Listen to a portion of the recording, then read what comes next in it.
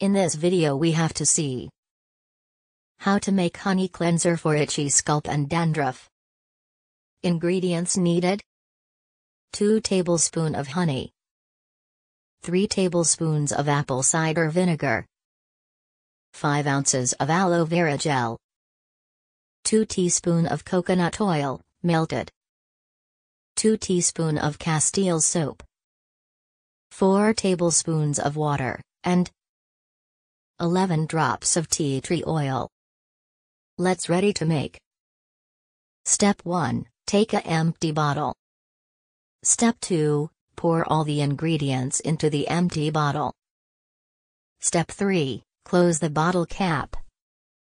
Step 4 Shake well the bottle for mixture. Let's see how to use. Massage a small amount into your scalp and down to the tips of your hair, then rinse well.